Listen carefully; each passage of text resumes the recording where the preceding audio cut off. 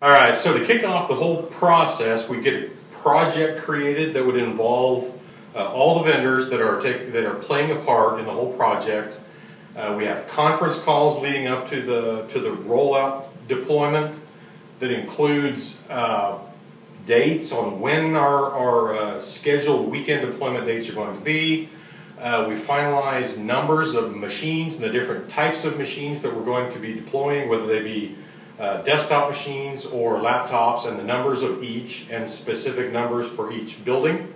We try to nail down as many details as we can at this time so that come uh, deployment weekend, everything rolls really smooth. Uh, the imaging process, when uh, the, we get machines sent to us, uh, an example or two of each type of machine for imaging. We set up the images in-house.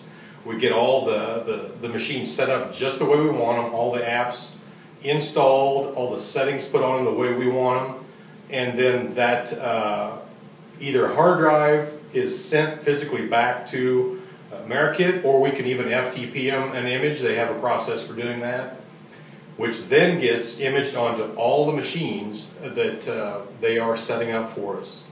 Um, after that is all finished up, when uh, rollout weekend comes, the machines are already loaded with the exact images that we have set up across all the different buildings, across all the different types of machines that are drop shipped directly into our, our district on a rollout weekend, and we're ready to uh, roll out those machines out to the buildings uh, that AmeriKit takes care of, and after that, uh, if we've done our homework properly, it's a smooth weekend. So this is a room that we would pick the stage from. Imagine this room completely empty, filled with just tables, and bringing in boxes and boxes of laptops. This would be a staging area where the company, which we use AmeriKit, would then set up all the machines, get them ready, log them into the network so that we make sure that they work, and then they would go out on rollers out to the classrooms.